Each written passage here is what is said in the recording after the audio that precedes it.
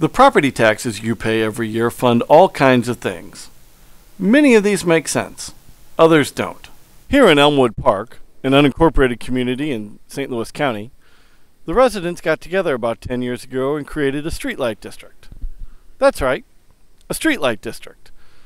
Every year, a portion of the property taxes paid in this community go to fund the streetlights in this neighborhood, and only the streetlights in this neighborhood.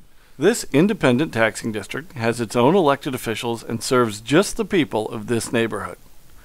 While this is a rare example of a property tax district in Missouri, it's one that makes sense. The streetlights serve everyone in the neighborhood by improving safety at night, and that helps maintain property values.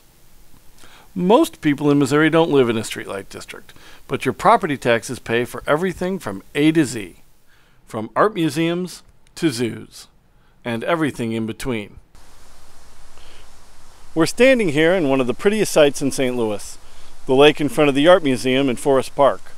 Property taxes, like the ones used to fund this art museum, make sense when there is a direct connection between the public service and the property being taxed.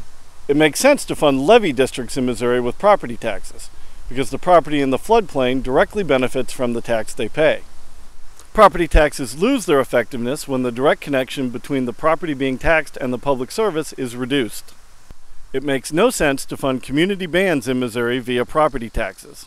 There is no connection between the property being taxed and the band, and the owner of the property does not get any benefit from the band unless they voluntarily choose to attend the concert.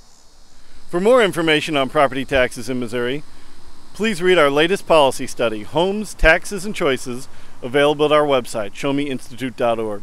For the Show Me Institute, I'm David Stokes.